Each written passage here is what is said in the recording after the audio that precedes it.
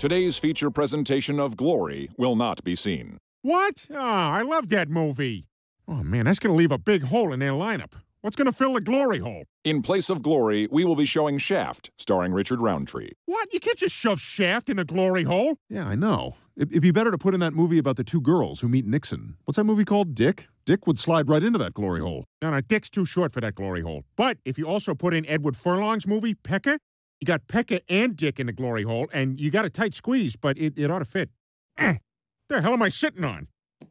Oh, hey, that's my old rope toy. I was wondering where that was. Ew, what would you want that for? It's gross. No, it's not. It's awesome. I can suck on it for the flavor. I can thrash it around, pretend it's a snake. Sometimes I just bite it like this. Arr, arr, rope.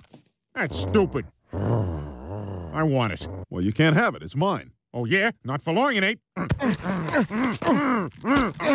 Come on, Brian. I need this rope in case I open a nautical themed restaurant. Come on down to Pete's Crab Shack. We got boat parts on the wall, so you know the crab comes from the ocean. Eating next to a porthole? What?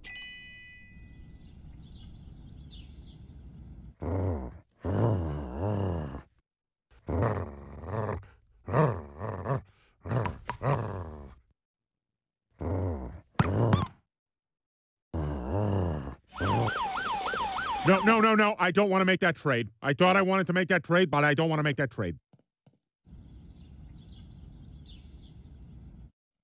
Hey, Chris, where's your father? He's still trying to get that rope away from Brian. Uh, he's got to give up that obsession. I don't like what it's doing to him. Precious wants a precious rope. Peter, enough with the rope. Also wants ice cream. No, Peter, it's too close to dinner time. Get ice cream anyway. Don't you dare. All right, but I'll be back in a moment as another movie thing. I am Johnny Five. Need input. Input is ice cream. I need ice cream. Did I say I'm Johnny Five yet? You didn't go to work today, did you?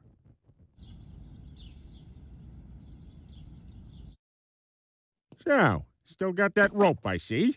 Well, I got a better rope. That's not a chewing rope. I know. It's a tie-in rope.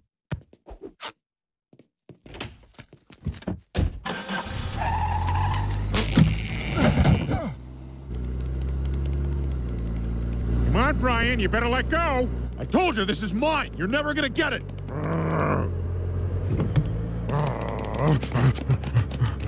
Just give me the rope. Nobody has to get hurt, Brian. Only one person has to get hurt, Brian. All right, I warned you.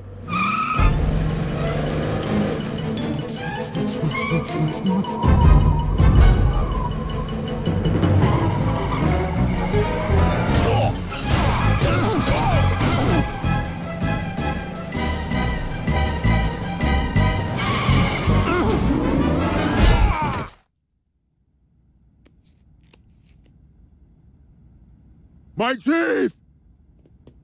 Oh! Oh, man, I'm real sorry about your mouth, Brian. Damn it, Peter, what were you thinking? This has to be the stupidest thing you've ever done. No, Brian, the stupidest thing I ever did was turn the bubbles off in a hot tub.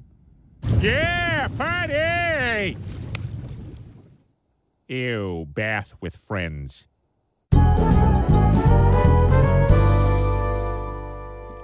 Now remember, Brian's probably very self conscious about how he looks, so let's try to be supportive.